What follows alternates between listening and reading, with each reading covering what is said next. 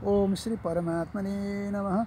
अथ द्वादशोऽध्यायः। अर्जुन उवाच एवं सततयोक्ता ये भक्तास्त्वां परिपासते ये चाप्यक्षरमव्यक्तं तेषां के योगवित्तमः श्रीभगवानुवाच मया मनो एमां नित्ययुक्ता उपासते सदया परयोपेतास्ते मे युक्ततमा मतः।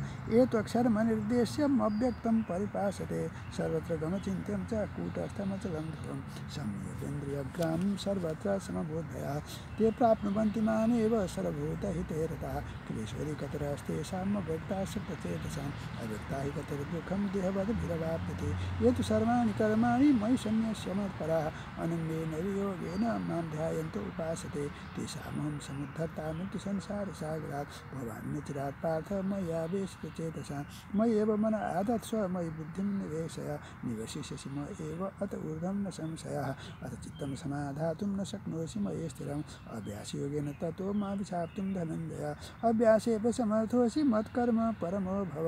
मदर्थमपि कर्माणि कुर्वन् सिद्धिमवाप्स्यसि अथैतदपि कर्तुं मद्योगमाश्रितः। सर्वकर्मफलत्यागं ततः कुरु यतात्मवान् श्रेयो हि ज्ञानमभ्यासात् ज्ञानाध्यानं विशिष्यते। ध्यानात् कर्मफलत्यागस्त्यागात् शान्तिरनन्तरम्। अध्यष्टा सर्वभूतानां मैत्रः करुण एव च। निरम्भो निरहङ्कारः समदुःखः सुखाक्षमी निर्ममो निरहङ्कार समदुःख सुखाक्षमी सुखाक्षमी सन्तुष्टः सततं योगी यतात्मा दृढनिश्चयः मयर्पितमनो बुद्धिर्यो मद्भक्तः समे प्रियः यस्मान्नो द्विजते लोको लोकान्नो द्विजते च यः हर्षामर्षभयो द्वैगैर्मुक्तो यः स च मे प्रियः अनपेक्षः शुचिर्दक्ष उदासीनो गतव्यतः सर्वारम्भ परित्यागी यो मद्भक्तः समे प्रियः यो नैरिष्यति न द्वेष्टि न शोचति न काङ्क्षति शुभाशुभपरित्यागी भक्तिमान्यः समय प्रिय समशत्रौ च मित्रे च तथा मानापमानयः। शीतोष्णसुखदुःखेषु समः सङ्गविवर्जितः दुर्निन्दास्तुतिर्मौनि सन्तुष्टो येन केनचित्। अनिकेतः स्थिरमतिर्भक्तिमान् वे प्रियो नरः। एतु धर्म्यामृतमिदं यथोक्तं परिपासते। श्रद्धाना मत्परमा भक्तास्तेतीव मे प्रियः। ॐ तत्सदिति श्रीमद्भगवद्गीतासु उपनिषत्सु ब्रह्मविद्यायां योगशास्त्रे श्रीकृष्णानुसंवादे भक्तियोगो नाम द्वादशोऽध्यायः। कृष्णाय वासुदेवाय देवकी नन्दनाय च नन्दगोपकुमाराय गोविन्दाय नमो नमः।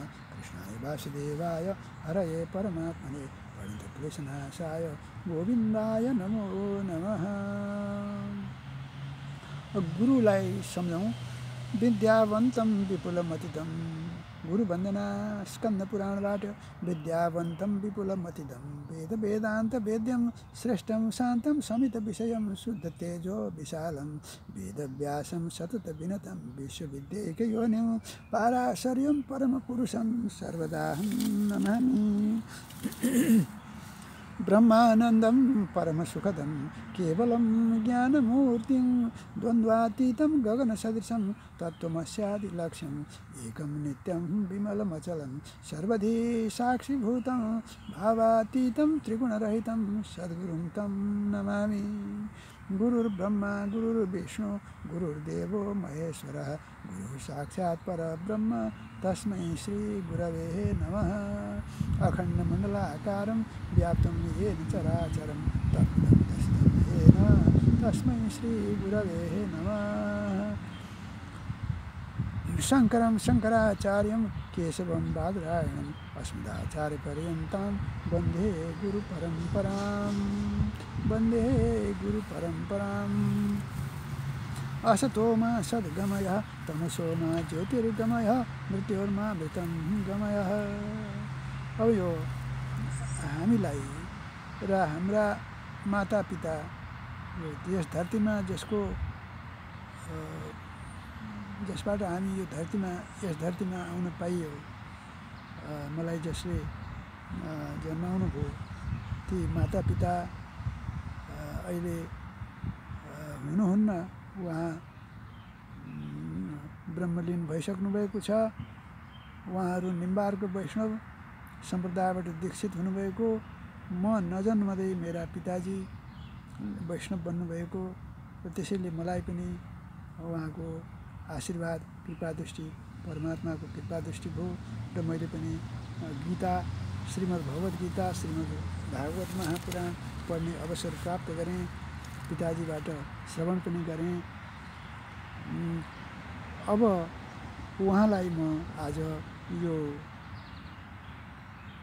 संयुक्त राज्य अमेरिका स्थित जर्जिया राज्यको अल्फारेटा जोन्स क्रिक भन्ने क्षेत्रमा पर्दछ र यहाँ चाहिँ नि Robert doctor Robert E Fulton भन्ने वैज्ञानिकको नामबाट यस क्षेत्रको यो काउन्टी यहाँको लोकल युनिट पनि उहाँकै नामबाट नामाकरण गरिएको रहेछ र उहाँको सम्मानमा र साथै यहाँको ज्ञानको पवित्र मन्दिर जुन पुस्तकालय छ यसको नाम पनि फुल्टन काउन्टी लाइब्रेरी भन्ने रहेको छ र यो फुल्टन काउन्टी लाइब्रेरी यो सिस्टमभित्र पर्दो रहेछ जस्तो अब युनिभर्सिटी सिस्टम छन् एउटै नामको जस्तो युनिभर्सिटी अफ क्या क्यालिफोर्निया बर्कले अब छ त्यस्तै अर्को ठाउँमा पनि छ। अब यो सिस्टमभित्र विभिन्न स्थानमा यो लाइब्रेरी पनि भएको लाग्छ मलाई यो सिस्टम बनिसकेपछि। तर म यहाँका अन्य पुस्तकालयमा त म गएको छैन। म यो चाहिँ नि एडिसन लेन अन्तर्गत अल्फारेटामा अवस्थित यो जोन्स क्रिकको गेटको नजिकै अपार्टमेन्ट होमको नजिकै बाहिरपट्टि घरबाट हाम्रो बाबु छोरा नानी बस्ने डाक्टर आशुतोष गेवाली र बुहारी इन्जिनियर विद्युतमा कोइराला नाति बाबु यी बस्छन्। र यसबाट त्यो निवासबाट सात मिनटमा पुस्तकालयमा पुगिन्छ। यही पुस्तकालयको परिसरमा यहाँ चाहिँ जताततै यहाँ चाहिँ इकोलोजी पर्यावरणलाई अति नै व्यवस्थित गरेको रहेछ। रुखहरू वृक्षहरू जहाँ पनि छन् हामी कहाँ त सब वृक्ष काटेर नाश पारिएको छ। अब फेरि पुनः सडकको छेउछाउमा वृक्ष वृक्षारोपण गर्ने परम्परा त सुरु भएको छ तर कहिले रुखहरू को यस्तो खालको वातावरण कहिले हुने हो प्रतीक्षा गरौँ। र यहाँ यस्तो हरियाली छ सुन्दर हरियाली छ जताततै सडकमा। गाडीहरू दौडिरहेका छन् मान्छे व्यस्त छन् काममा अब त बिदाको दिन पऱ्यो तर बिदाको दिन पनि भेटघाट कार्यक्रम विभिन्न हुन्छ। हप्ताको दुई दिन बिदा हुन्छ यहाँ। सिस्टमले काम गर्छ। शान्ति छ। कतै अशान्ति देखिँदैन। यहाँ हामी बसेको क्षेत्रमा अरू सबै ठाउँ त अब अमेरिका विशाल राष्ट्र छ। अब सबै देख्ने कुरो भएन। र मातापितालाई मैले उहाँलाई हार्दिक श्रद्धासुमन व्यक्त गरेँ। श्रीमद् भगवद् गीताको बाह्रौँ अध्याय भक्ति योगसँग सम्बन्धित छ र यो भक्ति योग को अध्याय पारायण गर्ने क्रममा गुरु वन्दना सम्पूर्ण गुरुहरूलाई मैले स्मरण गरेँ। मलाई विद्यावारिधि गराउने गुरु महेन्द्र बहादुर सिंह मिर्जापुरका स्थायी बसोबास पहिला मिर्जापुरमा अहिले त बनारसमा छ। र अब चाहिँ नि मेरा मलाई स्नातक तहमा पढाउनु भएका गुरु प्राध्यापक केशवानन्द गिरिज्यू लक्ष्मीपूर्ण श्रेष्ठज्यू डाक्टर माधव मैनालीज्यू र हेमराज श्रेष्ठ हेमलाल श्रेष्ठ अनि सुवर्ण अमात्य त्यसपछि चाहिँ गायत्री राज भण्डारी अब डाक्टर रामकृष्ण श्रेष्ठ। यति गुरुहरूले गुरुमाहरूले मलाई चाहिँ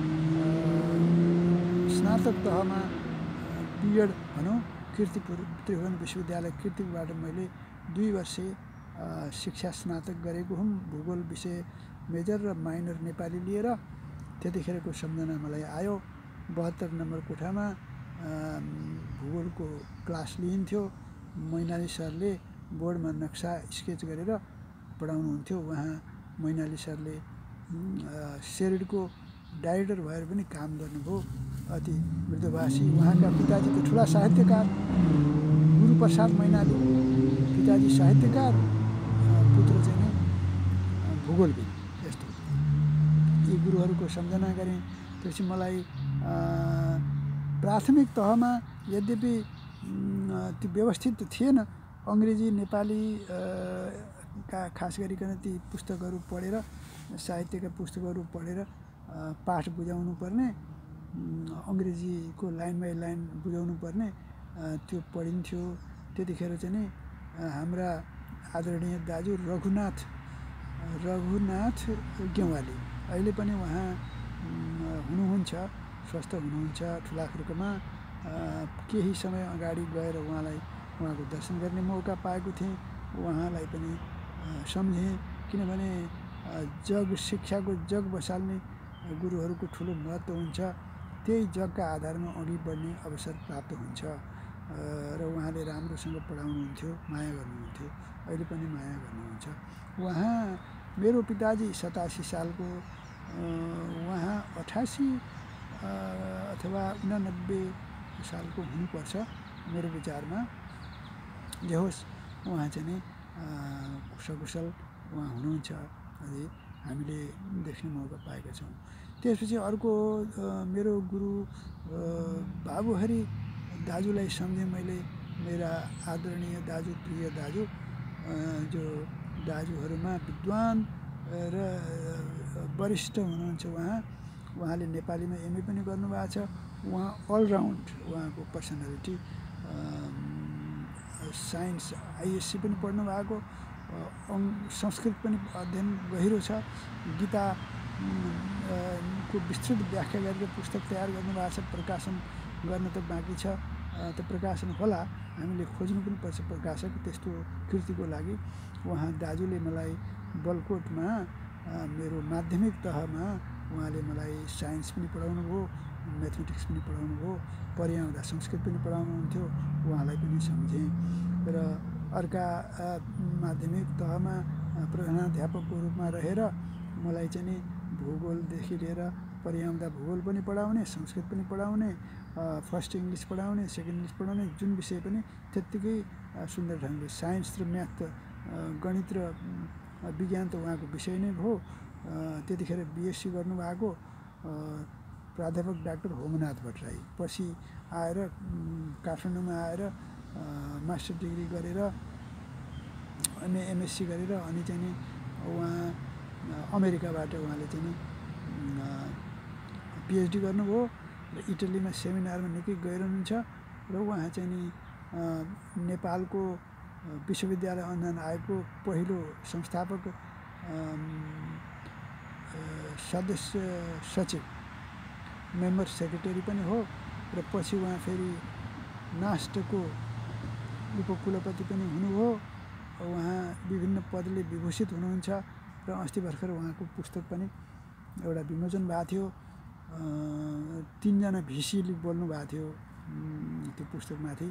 म पनि गएर त्यो सहभागी भएँ र उहाँलाई पनि प्रणाम सम्झना गरेँ। गुरुप्रति सम्मान गरेँ। उहाँ स्वस्थ हुनुहुन्छ र यस्तै धेरै गुरुहरू मलाई जस जसले शिक्षा दिनुभयो।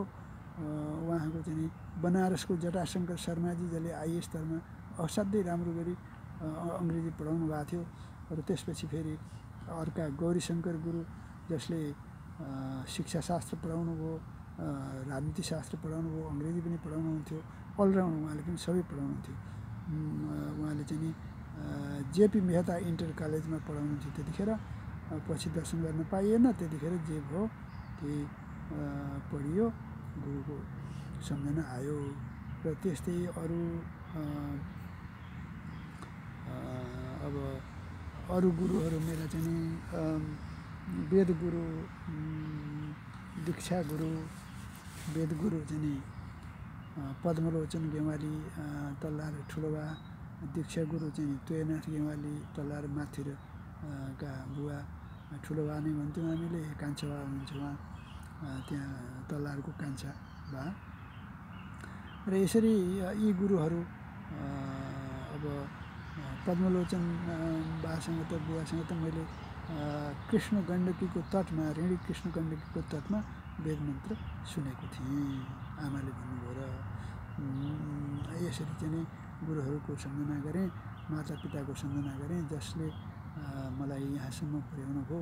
र त्यसपछि अर्को कुरा अहिले म यहाँ आउन को निमित्त व्यवस्थापन गर्ने मेरा छोरा डाक्टर आशुतोष गेवाली बुहारी विद्युतमा कोइराला नाति बाबु जन्मिएको खुसियालीमा हामी धेरै वर्षदेखि अमेरिका आउने भन्दा भन्दै कोभिड भएर भिसा पनि पाइएन प्रक्रिया चलाएको।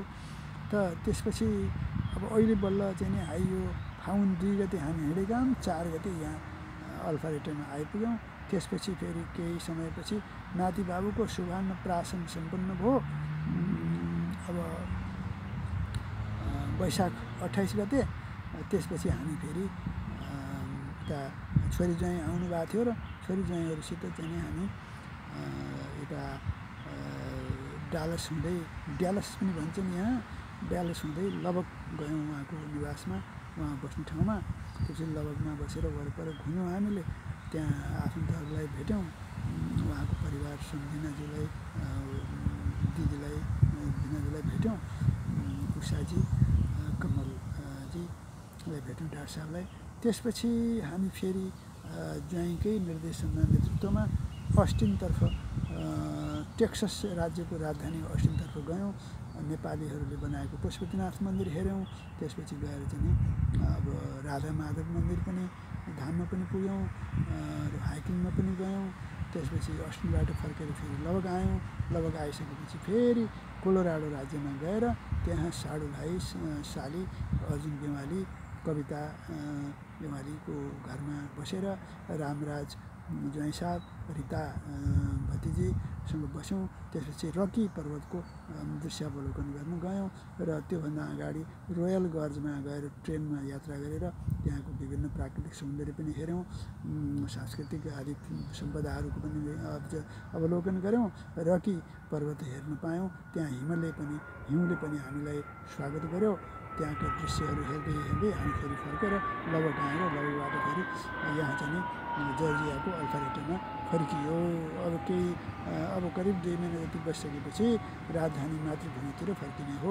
यस्तो प्रबन्ध व्यवस्थापन गर्न जर्जिया बोलाउने व्यवस्थापन गरेकोमा छोरा बुहारी प्रति पनि हामी धन्यवाद व्यक्त गर्न चाहन्छौँ। र यसरी चाहिँ फुल्टन काउन्टी लाइब्रेरीको परिसरमा बसेर गीता वाचन गर्ने सौभाग्य प्राप्त भयो। सबैलाई धन्यवाद। जय जय श्री राधे श्याम। हर हर हर महादेव। जय श्री पशुपतिनाथ।